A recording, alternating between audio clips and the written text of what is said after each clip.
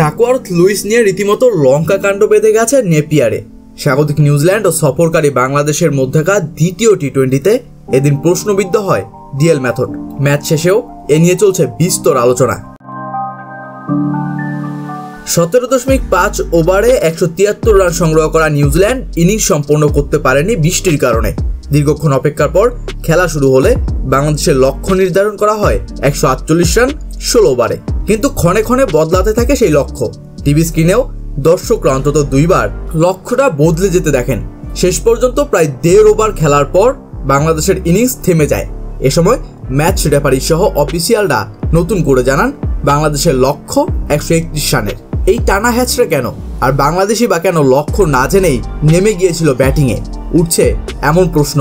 Match শেষে প্রধান coach Russell Domingo জানান ইনিংসের শুরুতেই লক্ষ্য জানা যাবে এমন কথা মাথায় রেখেই ব্যাটিংয়ে নেমেছিল বাংলাদেশ। তারা স্কোরের জন্য অপেক্ষা করছিল।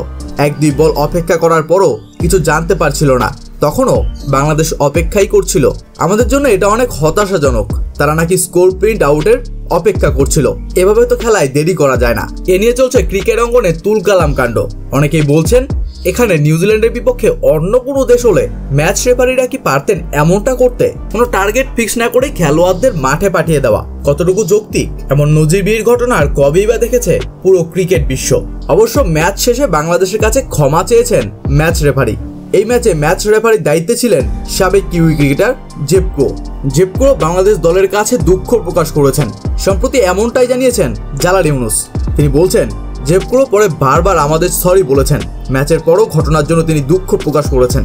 ক্রিকেট দুনিয়ায় এমন ভুলের দৃষ্টান্ত অবশ্য বিরল। ক্ষমা চাইলেও নিজের এই অপ্রত্যাশিত ত্রুটির জন্য নিশ্চয়ই অনেকদিন অনুশোচনায় পড়বেন কিউই এই রেফারি।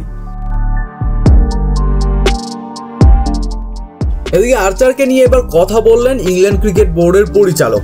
বলছেন, আর্চারের বিষয়টি খুবই হাস্যকর ও ষড়যন্ত্রের তত্ত্বের মতো। অদ্ভুত কারণে জোফরা আর্চারের সার্ভিস পাচ্ছে না ইংল্যান্ড ক্রিকেট দল। মাছের সেবা করতে গিয়ে ইংলিশ এই তারকা পেসারের হাতের আঙুলে কাঁচের টুকরো ঢুকে যায়। তার হাতের অস্ত্রোপচারের পর বিষয়টি জানা যায়। ইংল্যান্ড ক্রিকেট বোর্ডের পরিচালক অ্যাসলি জাইলসই বিবিসিকে জানান, আর্চারের বিষয়টি খুবই হাস্যকর ও ষড়যন্ত্রের তত্ত্বের মতো শোনাবে। আমি এটা বলার পর সোশ্যাল মিডিয়ায় হয়তো সমালোচনার ঝড় বয়ে যেতে পারে। গত জানুয়ারিতে সে বাসায় মাছের ট্যাঙ্ক পরিষ্কার করতে গেলে তার হাত কেটে যায়। অস্ত্রোপচারের পর ভালোভাবেই সে খেলায় ফিরে আসে। ভারত সফরে সে ভালোই বোলিং করেছে। আঙুলে কোনো ক্ষত ছিল না, কিন্তু কোনো একটা ইঞ্জেকশন নিতে গিয়ে হাতের আঙুলে ব্যথা অনুভব করে। বিশেষজ্ঞ চিকিৎসকদের সঙ্গে দেখা করার পর আঙুলে কাজ পাওয়া যায়।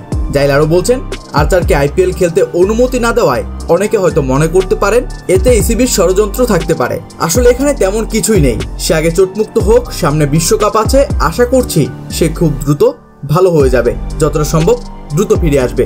আইপিএলে গত মৌসুমে রাজস্থান রয়্যালসকে প্রায় একাই টেনেছেন জোফরা আর্চার। আসন্ন মৌসুমে রাজস্থানে আছেন দক্ষিণ আফ্রিকান ও বাংলাদেশ দলে তারকা পেসার ক্রিস মরিস ও মুস্তাফিজুর রহমান। তবে এবার আইপিএলেই নেই জোফরা আর্চার।